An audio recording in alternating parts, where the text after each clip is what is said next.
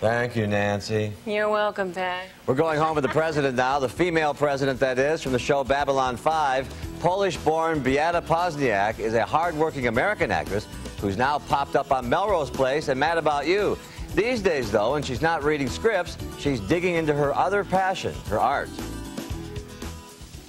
On Babylon 5, she's the no-nonsense president of the world. Don't make the mistake of assuming that this is a conversation. It isn't. But when she's at home, surrounded by her artwork, Polish-born Beata Pozniak sheds her presidential role and literally lets her hair down. So don't worry about mispronouncing her name. Well, in Poland we pronounce it Pozniak. In America it's Beata Pozniak. her home-turned-art gallery was once owned by legendary screen star Errol Flynn. I was very lucky. I was walking on the street and I started talking to this lady and she was gardening and I said, wow, you got a beautiful house, what a great neighborhood. And I started just talking to her. So she invited me to her house and I saw all these wonderful photographs of Errol Flynn and her and it was Mrs. Errol Flynn. One thing is clear from a tour of her house, Pozniak has a passion for art. Well, I was living behind the Iron Curtain. It was, we were all scared. We did not have the freedom of expressing. And when I moved here to the United States, I discovered so many things and so many things one can do, the opportunities, the possibilities. So I started to create, and thanks to being here, something just opened up in me. I wasn't quite sure what it was, but I wanted to do something with my hands, so I just bought a block of clay.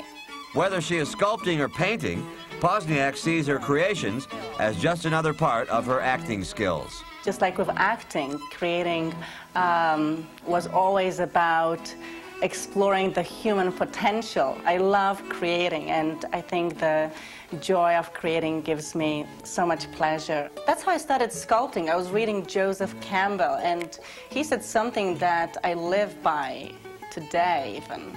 He would say, follow your bliss. And that was it for me. That was it.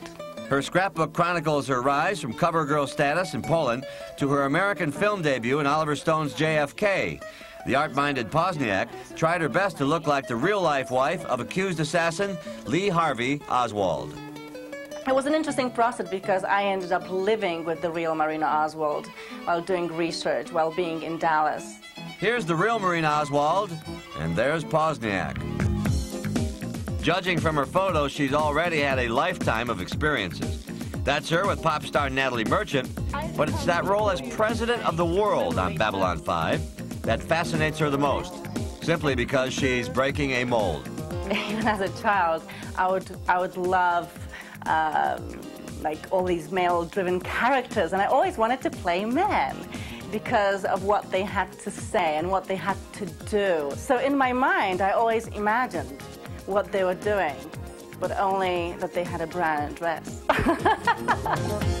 wow, Beata told us the producers of Babylon 5 were originally looking for an older actress to play the role of the president of the world, somebody who would remind viewers of former British Prime Minister Margaret Thatcher.